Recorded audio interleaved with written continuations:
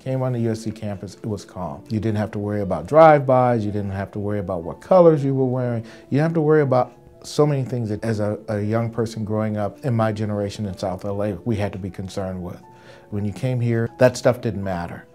I grew up in not far from USC, and my grandparents had lived in this neighborhood since the late 40s. USC has always been a part of the neighborhood that I grew up in, and so it was always a part of my DNA. And, and then you saw people that were serious about academics. Even though I had an interest in learning throughout my entire elementary school years, that's not always enough. You know, there was a stigma, well, why are you reading? Why are you, why are you studying? Nobody else is studying. Living and coming here shaped my reality of the future. Came to work at USC um, when I retired from LAPD after a 21 year career. Campus policing appealed to me. I applied and saw that there was a captain position here at USC. And despite being a UCLA alum, I was like, well, they're hiring. I'm familiar with the area let's give it a shot.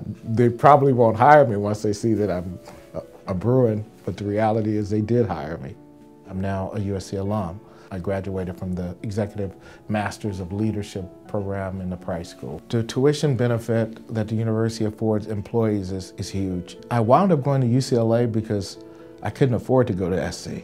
To now be a USC alum is like coming back full circle. I have to pinch myself because I feel so fortunate and blessed to be from this community and now to serve as a part of uh, the university, utilize my knowledge of the community and also utilize the resources from USC to benefit the surrounding neighborhood. The only reason that I am where I, I am is because people cared and took an interest and took time in me, which I try to do through our cadet program and the time I try to spend with young people. This has been the greatest job I've ever had in my career. I love it here. Uh, I want this to be my last law enforcement job. I, yeah, I, I plan to be here for a while.